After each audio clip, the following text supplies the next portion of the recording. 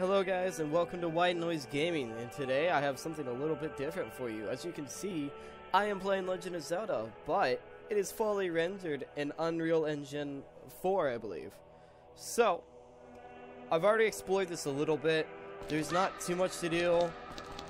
They said fully playable on a gaming website and I saw this and I'm like, man, I just had to download that. Fully playable, must mean full level. But mostly just walking around. But when you look at it, it is really cool. So, so the stuff we can do basically is if I press space while I'm walking, I get to do a barrel roll. And if I have my sword out, I swipe. And if I'm walking and press B, I can do this upward tap. I can also put away Navi, take Navi out. Every time I take him out, he says, hey, listen. Wow.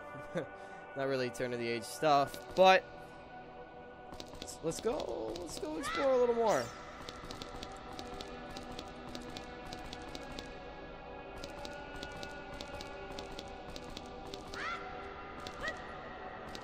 Alright, so there's nothing in this room here that you can do.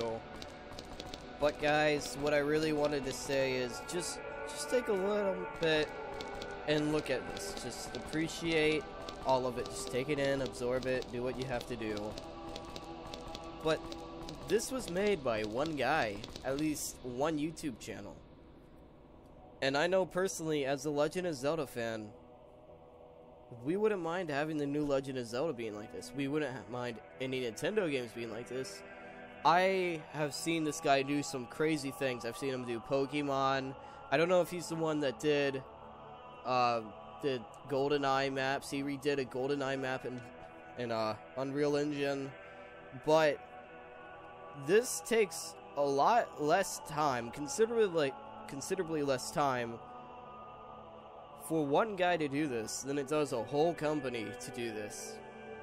So, what I'm thinking is maybe Unreal Engine is the future of gaming. That's what I'm thinking. I mean, just the way its physics work and how everything forms together, it's really nice.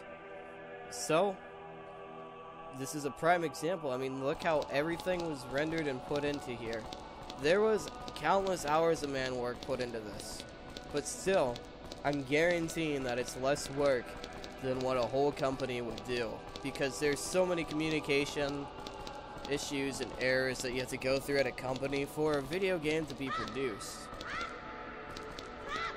And everything here is complete. So guys, is Unreal Engine 4 the future of gaming? Let me know in the comments. Leave a comment on what you think. Please like this video if you liked it.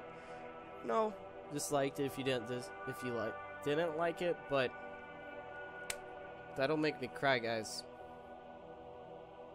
I'm just kidding. It won't, it won't make me cry, but it it might make me, me consider YouTube. No, it won't make me consider YouTube either, but there are those people out there that do not like videos like this that are informative. I don't know why. But there is people out there. Seriously, if you look at this guy's YouTube, this guy even has dislikes on this video. It's like, what kind of person would dislike this? I'm a Nintendo fanboy, and I feel like that this is really just way out there and not anything reminiscent of Nintendo. I think this guy does a bad job. Don't be one of those guys, people. Just, just please don't be one of those guys. As always, guys, this is Quentin, and have a nice day.